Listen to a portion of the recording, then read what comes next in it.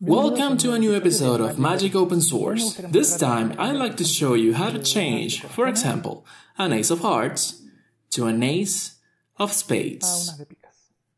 Well, this is a very interesting project and that has a lot of different usages and we're gonna check them out in this blog today.